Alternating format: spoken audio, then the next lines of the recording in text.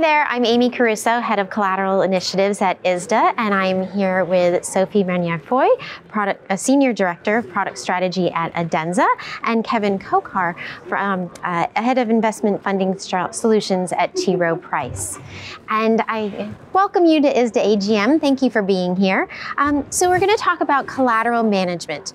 And in times of market volatility, like the dash for cash or the LDI crisis, some things happen with collateral management, increases in margin calls and settlements.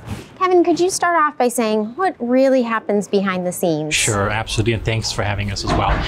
In terms of you know collateral, so you have stress in the market, right? You get, as you mentioned, the volume goes up for for the margin pieces. You have large size calls that are coming in. You potentially may have settlements fails as well because you're stressing the system, right? So a lot of the manual type of processes and unscalable solutions now are stressed under these conditions, right? So this is more on the operations side, right? Then you have the funding piece, which is you know funding from a resourcing perspective. So funding collateral, transforming the collateral, sourcing collateral, right? And so the cost of collateral also goes up as well. So there are really different dynamics that are happening at that place. So you have the operations piece, you have liquidity, you know, constraints, and you have the funding and risk constraints in the market as well.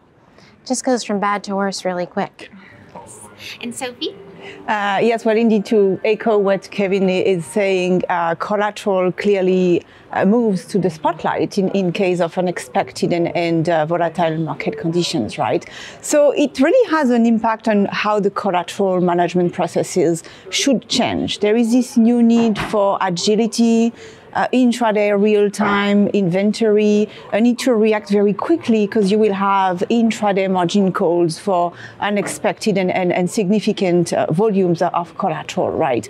But I think be- besides and beyond this fact, that really calls for more robust and more sustainable collateral solution because you don't want to just have a survival kit when it comes to collateral, right? You want to have a solution that will give you profitability, which means you need to be able to anticipate, simulate, optimize, ideally across functions. It cannot be anymore a siloed and fragmented uh, collateral solution. So I think actually the market condition are a very good waking call to maybe review the collateral landscape and maybe strategize a bit around it.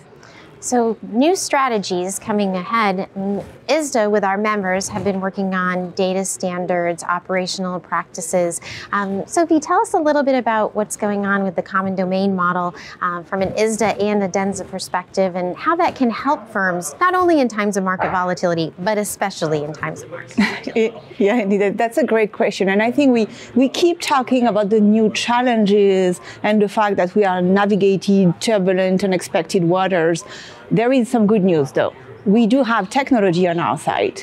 Technology has improved a lot. And one thing we've learned is among all the unexpected conditions, there are a few things that can be uh, very solid, robust, and that can we can build around.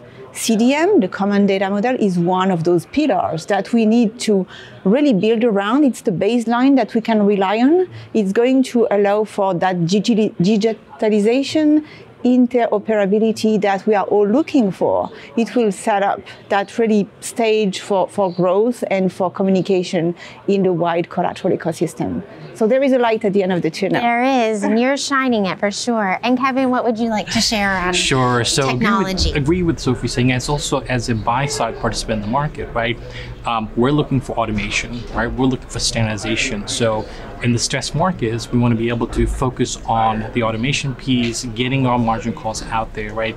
Getting the settlements process more streamlined, more efficient as well. So the CDM gives us that ability to do that as well, right? On top of that, also, it also from a negotiation and collateral perspective, you can also leverage the the schedulers, right? So your legal teams can now have more speed and um, interoperability where you can actually work with the partners to get that documentation in line sooner and quicker and faster. That's right. So with ISDA Create and then having the output digitized with the common domain model, you can stream that into your collateral management system. And there's much more to come with the common domain model, right? And many thanks to you folks for being active in our working groups.